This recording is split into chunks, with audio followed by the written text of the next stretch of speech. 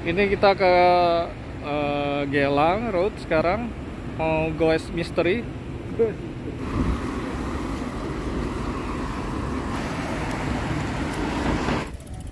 Yang jadi ini di- ditutup kan?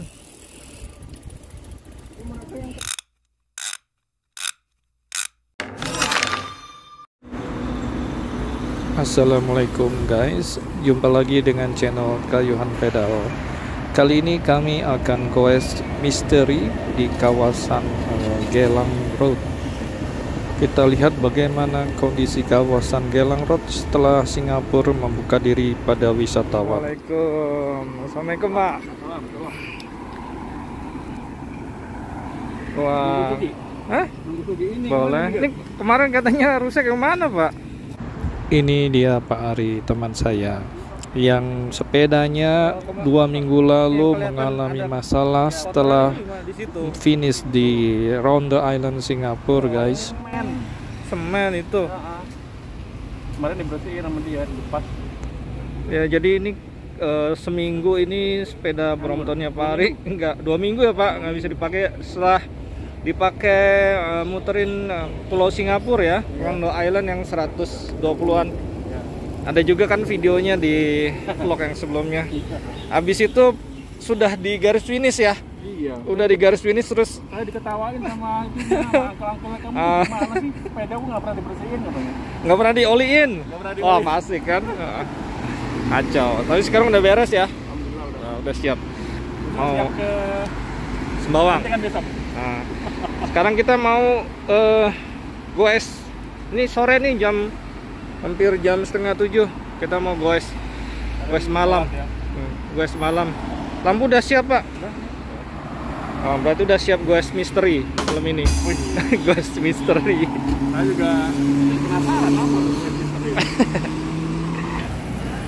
Oke, sudah memasuki kawasan Gelang mendekati eh, Gelang Serai, guys. Gelang Serai ini dahulu riwayatnya terdapat pabrik pengolahan daun serai yang biasa digunakan untuk aromaterapi itu, guys. Jadi gelang itu berasal dari kata kilang yang dari bahasa Malaysia itu artinya adalah pabrik pabrik pengolahan eh, tanaman serai.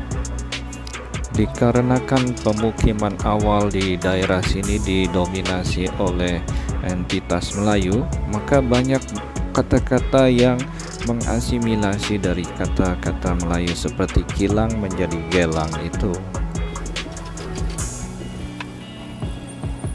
Cuci Road pada tahun 1840-an, seorang saudagar kaya raya dari Arab bernama Al-Asagob memberi tanah yang menjadi cikal bakal gelang ini dan dijadikan pabrik pengolahan kelapa dan serainya dan menjadi konsentrasi para buruh dari kaum Melayu. Ini kita ke eh, Gelang Road sekarang mau goes misteri Dari kubu-kubu malam. Mau ke mana kita? Bukan? Hah? West Mystery ini. Saya mau West Mystery. butterfly. Janganlah. Inilah gelang saat malam, guys. Apa orang tadi semangat kok. Yuk cepetan ke sana katanya. Nanti lewat sana nggak ngantuk Gelang Road, guys. Jadi mulai September 2021 ini, pemerintah Singapura memang sudah membuka perbatasannya untuk menerima wisatawan dari beberapa negara yang angka COVID-nya sudah terkontrol. Jadi kami di sini ingin mencoba melihat bagaimana sih kondisi Gelang pada saat pandemi masih belum hilang dari tanah Singapura. Apakah masih seperti dulu atau kok bagaimana? Jadi lihat saja bagaimana petualangan kami di sekitar jalan Gelang ini. Mana? Pak Sugi. Sejak dulu Gelang memang terkenal sebagai sentranya wisata kuliner durian guys Hampir setiap bulan kita bisa menyaksikan buah durian terjajar rapi di depan toko-toko makanan dan buah-buahan di Gelang ini. Mau pesta durian setiap saat pun bisa di sini. Selain durian, Gelang pun terkenal sebagai pusat jajanan malam di Singapura. Chinese food, Indian food bisa kita nikmati di sini pada saat malam. Ya, 20, lorong 20, lorong 18. Dan satu lagi guys, di Gelang ini juga terkenal adanya wisata malam dalam tanda kutip ya yang dilegalkan oleh pemerintahnya di sekitaran Gelang sini. Hingga bisa dibilang Gelang ini adalah kawasan lampu merahnya Singapura di mana banyak sekali kafe dan losmen-losmen yang menawarkan jasa esek-esek seperti itu guys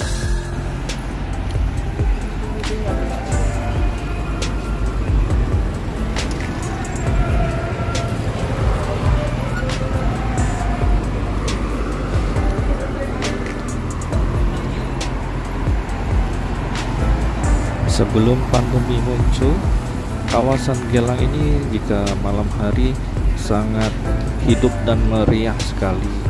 Banyak pelancong, kebanyakan itu kaum lelaki yang datang ke sini berkumpul, makan malam, dan eh, berjalan-jalan di sekitaran eh, lorong-lorong uh, yang ada di Gelang ini.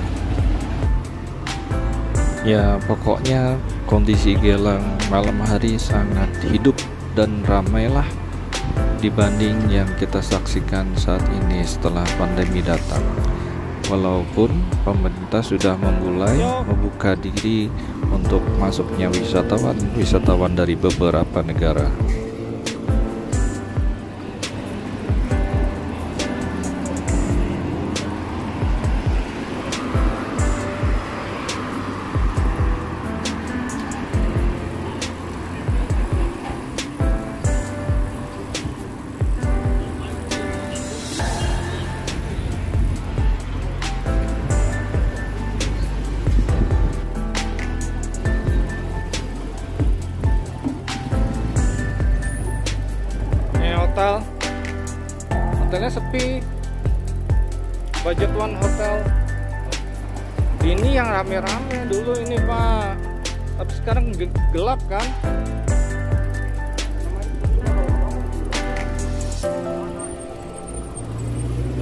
Ya sepanjang ini. Yang sebelah kanan ini loh Gi. Sepertinya sebelah kanan ini. Yang jadi ini. Ditutup kan di sini pak. Set, iya setahu setahu saya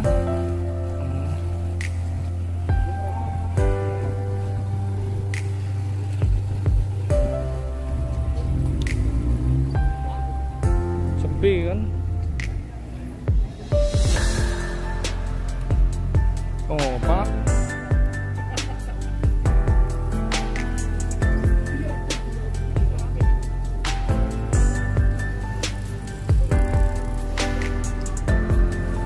Kenapa sepi, Pak? Ya udah malam. Emang bukanya siang ini. Kindergarten dong.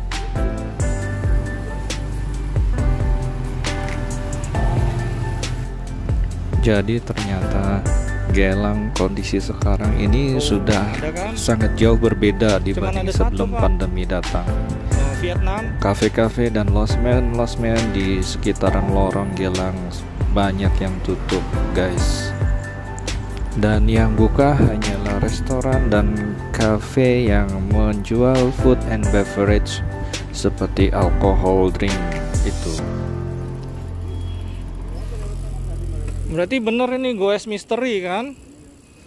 Tempatnya sepi. agak remang-remang. Dan pemerintah di sini sangat tegas guys akan pengawasan jam operasi food and beverage cafe-cafe yang menjual alkohol drink itu. Mereka hanya diizinkan beroperasi hingga pukul 10.30 malam. Setelah itu, mereka harus tutup. Tapi kedai-kedai yang menjual makanan biasa dan minuman biasa masih boleh beroperasi bahkan hingga 24 jam.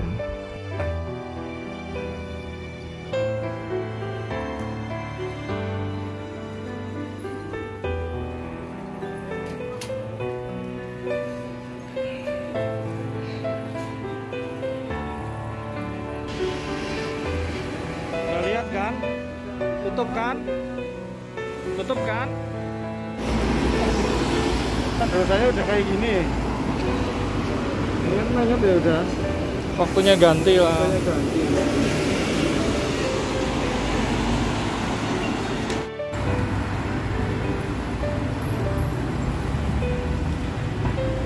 Yuk.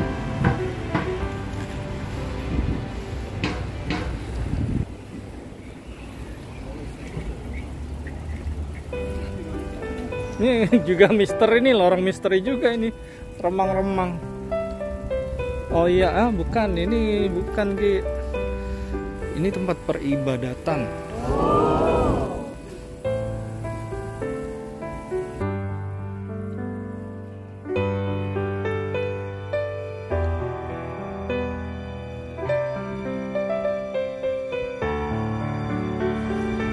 Menyusuri lorong-lorong dan jalan di sekitar Gelang ini, kebanyakan bangunannya adalah bangunan-bangunan bertua yang dibangun pada sekitar awal abad ke-20 atau 19 guys.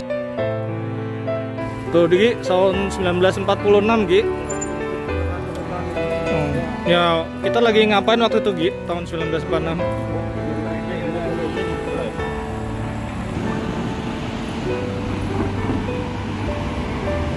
Duran lagi.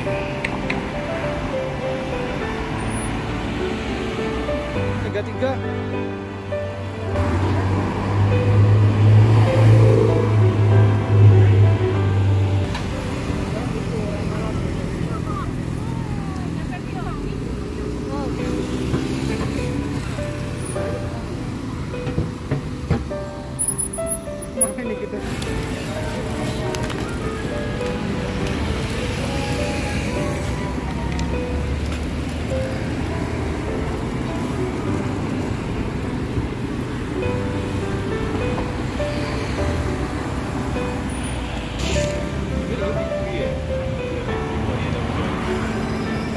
Kontraktir, Pak. Walaupun banyak restoran chili crab di sekitaran Gelang dan restoran-restoran seafood, tapi banyak dari mereka yang tidak bersertifikat halal. Jadi untuk kaum muslimin ya mesti berhati-hati jika ingin berkuliner malam di sekitar Gelang.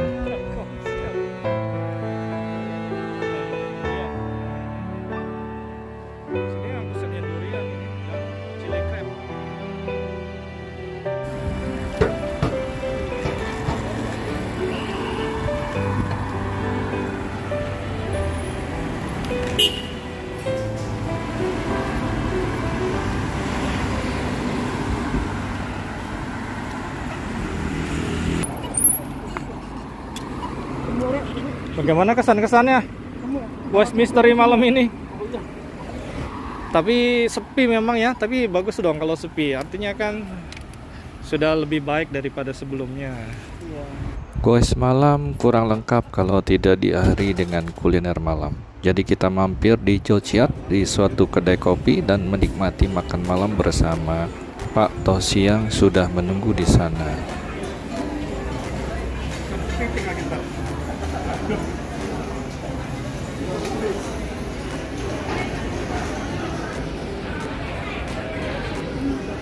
Ini mie ayam nih guys.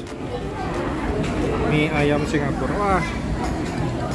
Ini, Ini- meatball, chicken meatball ya. chicken meatball pak eh chicken chicken ball Chicken chicken ball enak ini Tapi bakso tulisannya ayam chicken ini. meatball ini. Oh, oke oke. Bakso ayam lah, Bakso ayam. Mas. Tapi seger kuahnya ya. Segar kuahnya pak.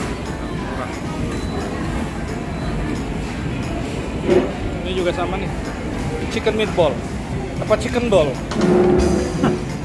Ternyata chicken meatball ternyata. Kalau chicken ball berarti ini dari pe- eh, ayam pejantan. Kalau meatball Ya. Apa kabar Pak? Ini rasanya kayak daging. Memang daging sih. Dari bolnya chicken ini. Bos. Ya. Lumayan lah. Masa tanah ada pedakan.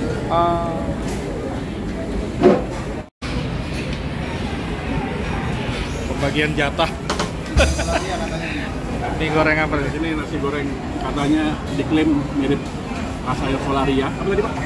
Solaria, mami golek sama apa tadi? Katanya patosi. Hmm, Oh ya. Gimana? mirip solaria tapi agak eh, oily ya. Oily Ah. tapi rasa smoky-nya ada. Enak. Solaria mana, Pak? Solaria Jakarta. Jakarta. Aduh. Ini episode terakhir. Apa pak? Oh nih. Oh, situ. iya. Masya Allah. Nah, ini Enak. kalah cepat tuh yang di situ. Iya. Kalah lagi. Kalah. Tuh lihat tuh.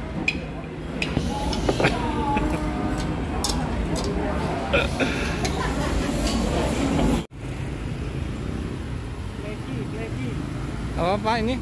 Lagi Mall. Pleki Mall. PLQ. Paya Lebar Quarter Mall. Ini kalau minggu rame pekerja domestik Indonesia Pak ke sini. Kalau hari Minggu. Oh, ada layarnya.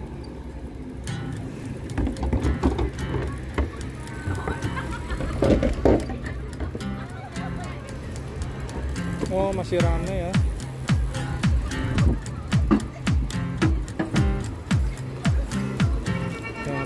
PLQ kalau Paya Lebar Quarter.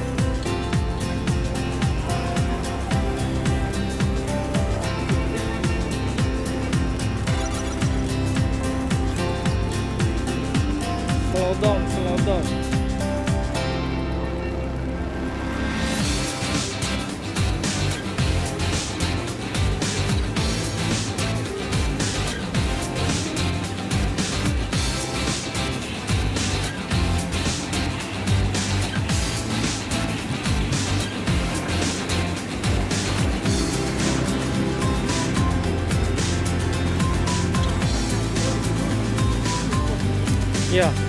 Basement. Basement 3. Ini kalau minggu rame. Kalau bekerja domestik Indonesia yang berkumpul dengan teman-temannya menghabiskan waktu bercengkrama di sini sampai uh, sore guys. Suasananya enak di bawah rel kereta yang pepohonannya dan bersih juga.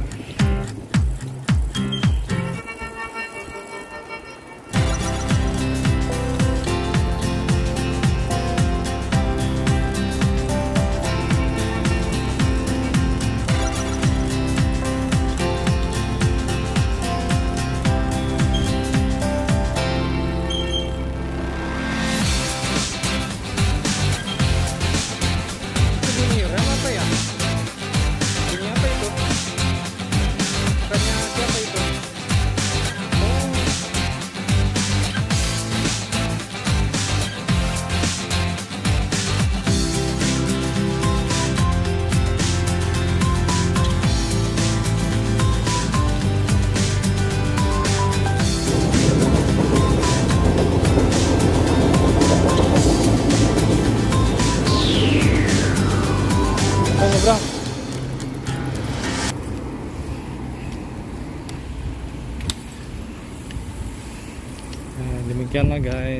Guys jalanan kita menyusuri area Gelang pada malam hari. Ternyata masih sepi walaupun Singapura sudah dibuka untuk wisatawan dari beberapa negara. Tapi kondisinya masih sepi. Demikian dulu perjalanan kita kali ini menyusuri kawasan Gelang saat malam hari nanti kita bertemu lagi di petualangan berikutnya. Oke terima kasih sudah menonton. Wassalamualaikum warahmatullahi wabarakatuh